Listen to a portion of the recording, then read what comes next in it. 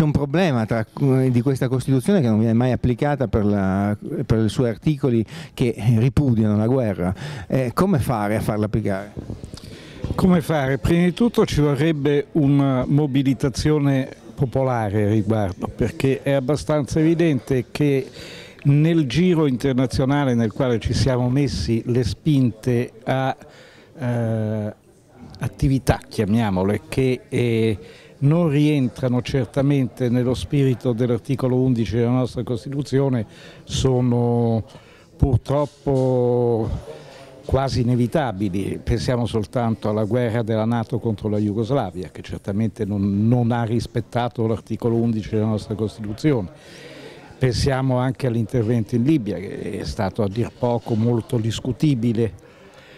E però non c'è quella reazione che c'era all'epoca dei missili cruise Comiso, non c'è quella mobilitazione che c'è stata per tanti, per tanti anni perché effettivamente l'articolo venisse 11 della Costituzione venisse rispettato, non solo quello veramente, perché sono tanti gli articoli della nostra Costituzione e non vengono rispettati neanche un po'.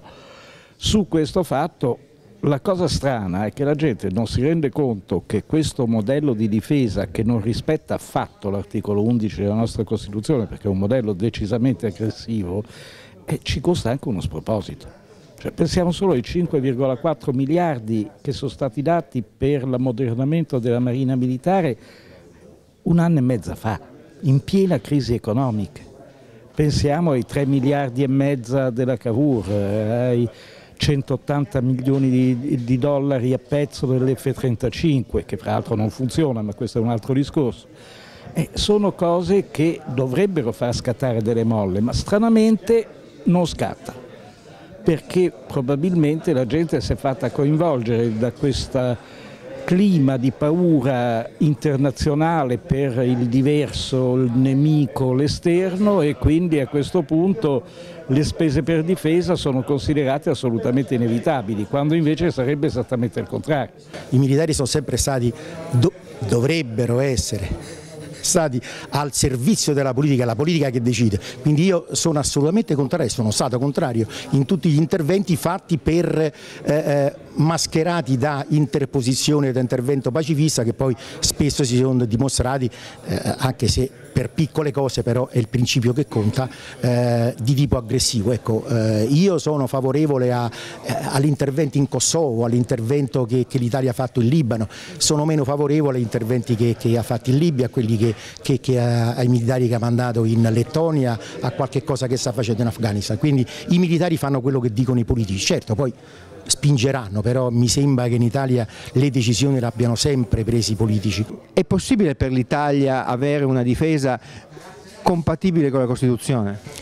Eh, io penso assolutamente sì, eh, però che l'Italia spenda tanto, ehm, spende il, circa il 75% in personale per cui eh, la maggior parte dei soldi della difesa italiana se ne vanno nel pagamento dell'esercito, marina, eh, carabinieri, guardia di finanza e via discorrendo.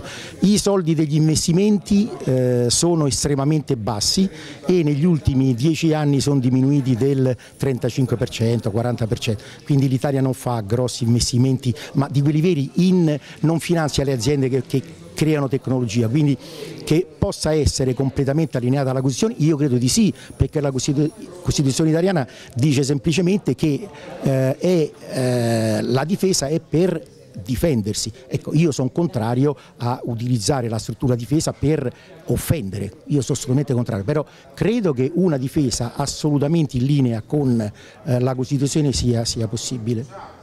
La guerra è la globalizzazione con armi eh, la globalizzazione è una guerra senza armi eh, sanguinose dirette ma con le stesse armi di distruzione di massa, quali sono gli spread, quali sono tutte le, eh, le misure che stanno distruggendo le economie di tanti paesi. Quindi siamo di fronte a un processo in cui eh, la guerra è diventato un pezzo della normalità eh, di un sistema economico globalizzato nel quale eh, non solo per la ragione che tutti diciamo conoscono ormai del, del, degli smisurati interessi eh, del, del, partito diciamo, militare industriale, che, che, finanziario industriale che alimenta la guerra con, con, alimentando l'industria delle armi, ma proprio perché in un sistema di questo tipo la guerra mi pare è diventata endemica, è diventata un pezzo del confronto economico che ci sono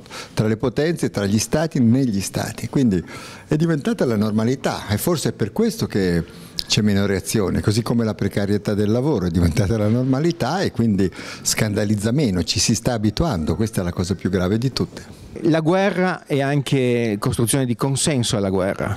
Come influisce oggi il sistema dei media nella costruzione di, una, di, un mondo dove la guerra è fatto quotidiano? Il potere da sempre ha cercato di utilizzare i media come trombettieri eh, per promuovere delle guerre. Le guerre sono sempre vendute come ideal politico, una ragione altissima, nobile per promuoverle, salvo poi essere il massimo di realpolitik, cioè vince chi ammazza di più e meglio degli altri.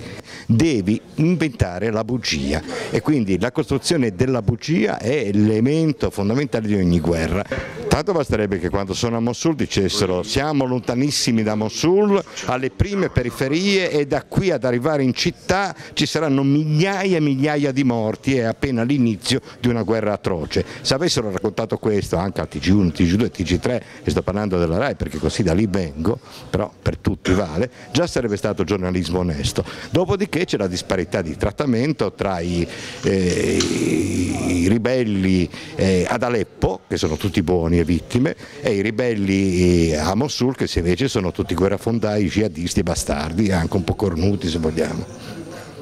Insomma, eh, come fare a costruire una condizione di controinformazione? Provarci almeno selezionare quello che di buono ha proposto come semplificazione di comunicazione il web.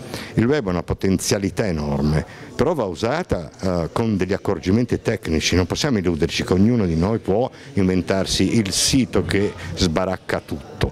E internet è un bidone, è come qualsiasi bidone ci sta dentro, la spazzatura è la roba di qualità, decidete un po' voi, bisogna saper scegliere. No?